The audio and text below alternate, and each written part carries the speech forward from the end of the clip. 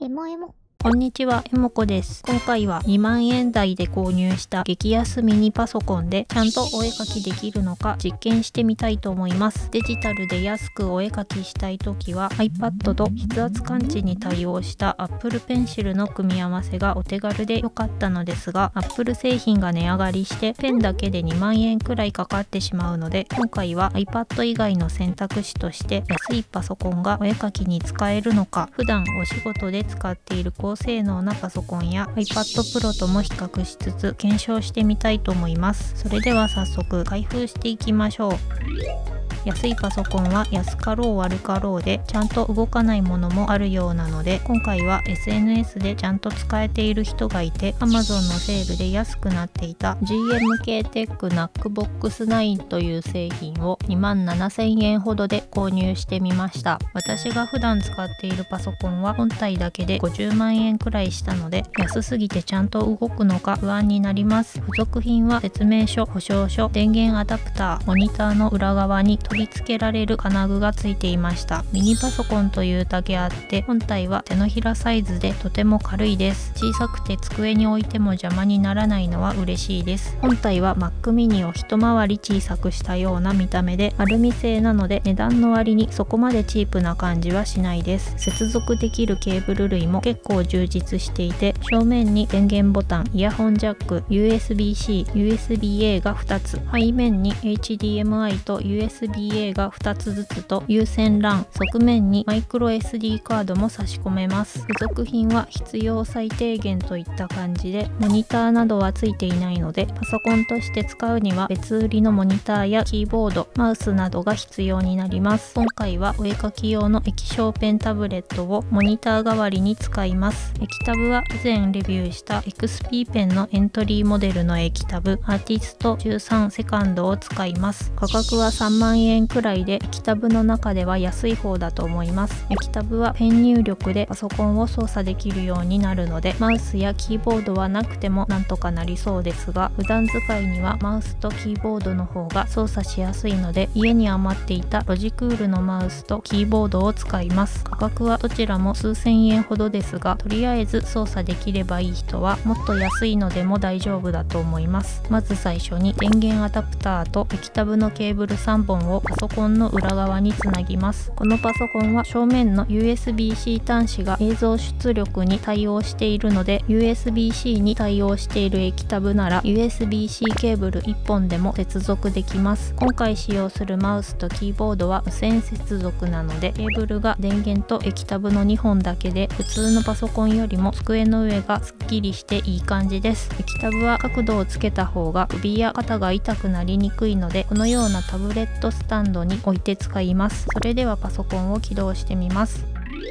OS は最新の Windows 11で機能制限のないプロバージョンになります。Windows のプロバージョンは普通に買うと1万円以上するので Windows 入りのパソコンが2万円台で買えるのはかなりコスパが高いと思います。パソコンの性能はこのような感じで値段の割に高性能だと思います。10万円前後のビジネス用のノートパソコンと同じくらいの性能があるのでブラウザでネットサーフィンをしたり事務作業や動画の視聴なども問題なくできそうです。試しに高解像度な 4K のモニターをつないでみましたが大きな画面でもほとんど処理落ちせずに動きました。2万円くらいで買えるパソコンに Chromebook というものもあるのですがそちらは動きが遅くて個人的に使いにくかったのでこの価格で普通に使えるパソコンが買えるのはすごいと思います。それでは実際にお絵かきしてみます。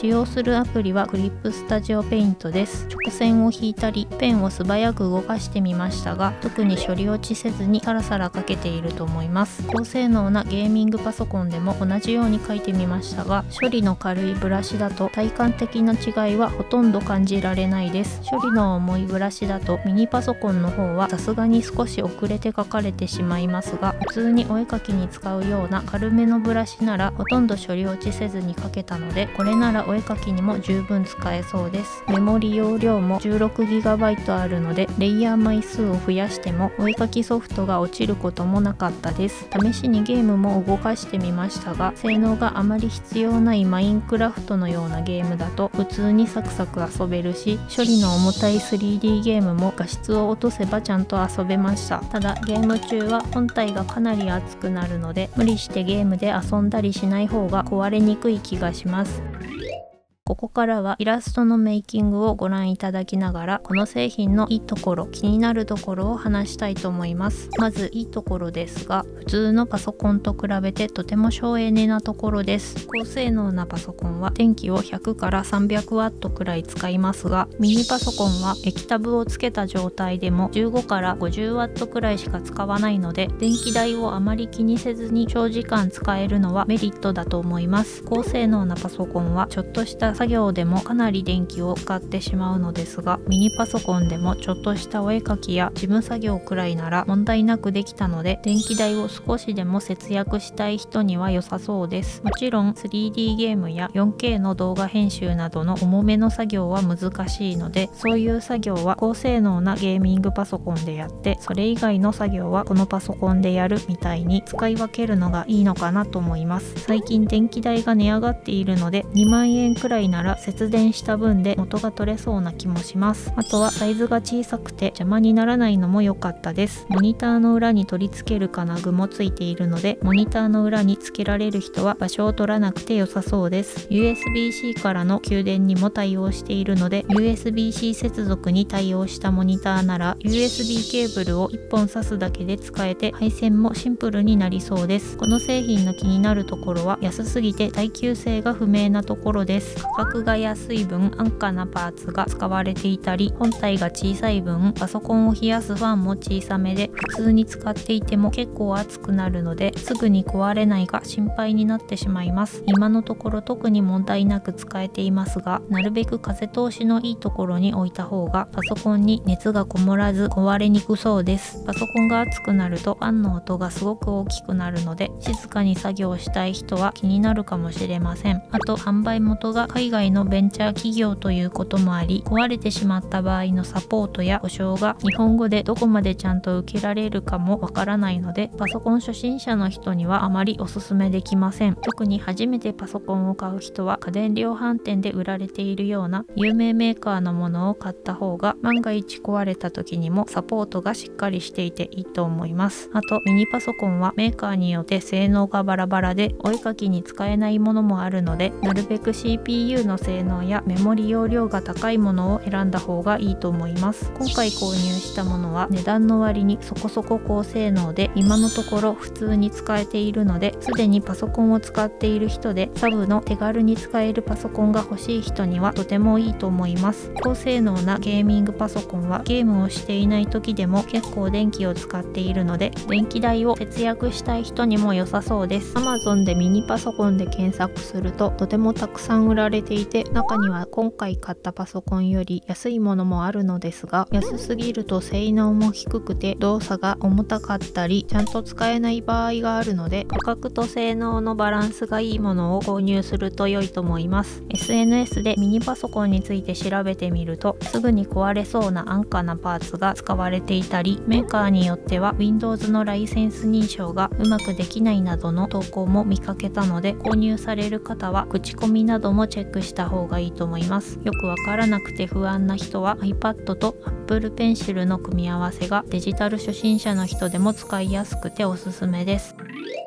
というわけで今回の実験の結果ですが安いミニパソコンでもちゃんとお絵描きできるという結果になりました。一番安い iPad と Apple Pencil の組み合わせが8万5000円くらいで今回検証したミニパソコンと液タブの組み合わせが6万8000円くらいなのでデジタルで少しでも安くお絵描きしたい人の選択肢になりそうです。ただ先ほども言いましたがパソコン初心者の人には向かないと思うのでその点はご注意ください。今回紹介した製品のリンクは動画の説明欄に書いておきます。普段は3万円くらいで売られているのですが Amazon のセールで安く買える時があるので気になる人はセールの時に安く買うのがおすすめです。このチャンネルではおすすめのガジェットやお絵かき関連の動画を投稿しています。この動画が参考になったよという人はチャンネル登録や高評価コメントなどしてもらえると動画を作る励みになるのでよろしくお願いします。ご視聴ありがとうございました。